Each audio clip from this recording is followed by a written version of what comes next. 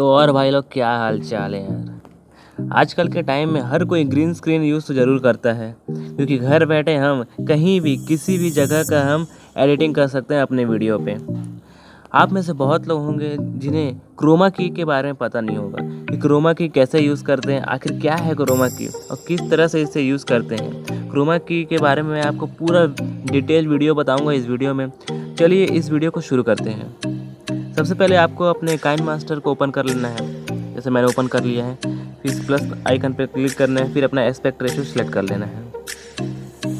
फिर उसके बाद हमें सबसे पहले जिस भी बैकग्राउंड में हमें एडिटिंग करना है, सबसे पहले उस बैकग्राउंड को डाल दीजिए। सबसे पहले मैं एक फ़ोटो डाल देता हूँ। जैसे कि मैं ये वाला फॉरेस्ट वाला फ़ोटो डाल देता हूँ। और इसे राइट करता हूँ।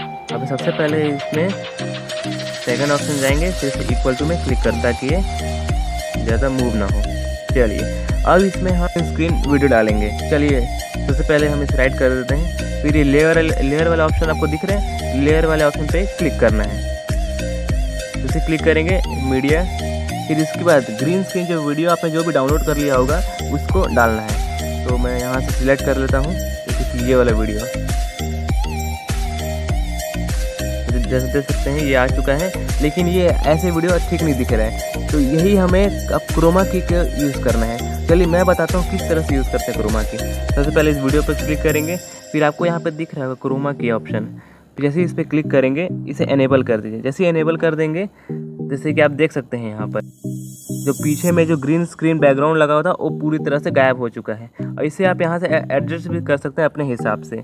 तो चलिए मैं इसे एडजस्ट कर देता हूँ और एकदम ये परफेक्ट दिखे।